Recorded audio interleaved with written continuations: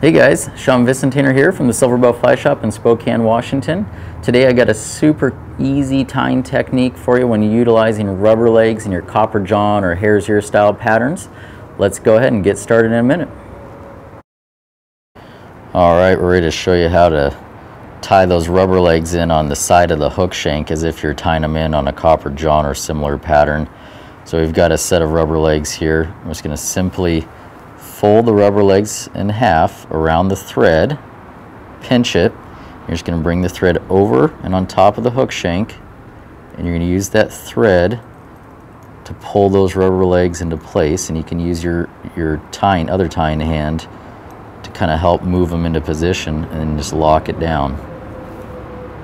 This is a lot easier than trying to fumble like this and see how that will roll that rubber leg material over. Watch how simple this is.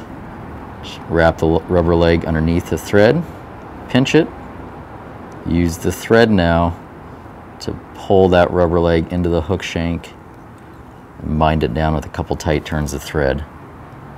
Very simple, makes it a lot faster.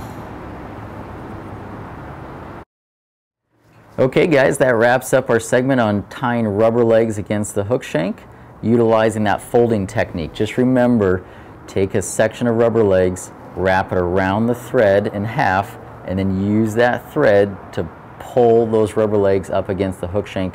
It'll put them into, into place wherever you want them perfectly every single time.